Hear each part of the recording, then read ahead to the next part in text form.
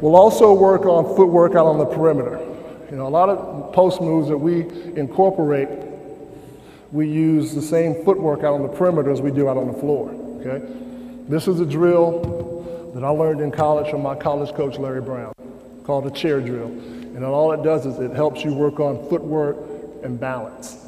So what we'll do right now is the first thing that we'll work on is called a slide step pivot, okay? A slide step pivot. So what you're gonna do is you're gonna have a right foot, left foot pivot. You're gonna take the ball off the chair. You're gonna take it under the chair, step, one bounce, turn, plant, and get a shot, okay? Let's go, you ready? All right? There you go. Now that's your pivot foot, okay? You're gonna pick that up, slide step, right in, get a shot. There you go. That's it right there, okay? A couple things now when we're doing this. You step up, you got it. Okay, you gotta make sure that your head is up, okay, and you drop that inside shoulder, okay? Give the appearance like you're really driving the ball to the basket, okay? A lot of times, bigger post players step out on the floor and they want to drive the basketball to the basket, but they keep their shoulders square here.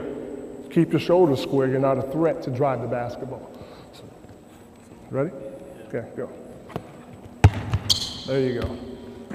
Okay? Now, we'll turn around and we'll do that going the opposite direction as well. Okay? So now you got a right foot pivot. Okay? Slide it out. There you go. Okay. There you go. Couple things. Keep your abs tight. That'll help you turn. And we always talk about getting both hips square on the goal. Every shot we take, get both hips square on the goal in this drill. Okay, go.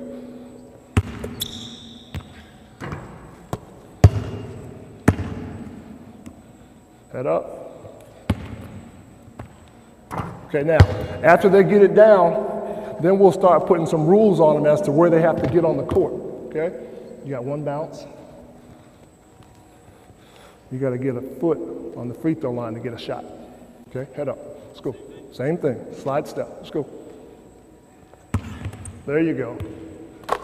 There you go. Very nice. Get to that free throw line. Get to that cover ground. Cover ground. That's it. That's it. Okay. Now, after we work on the slide step, from there we'll go to the jab step step over. Okay. Jab step step over.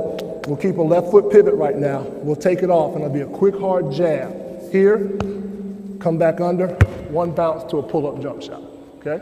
Jab, step, step over. You won't be able to get as far on this drill. You'll probably be able to get to about, about right here, okay? Hmm? Ball on chair, take it off, jab it. There you go, okay? Keep your abs tight. Get both hips square on that goal. That's it.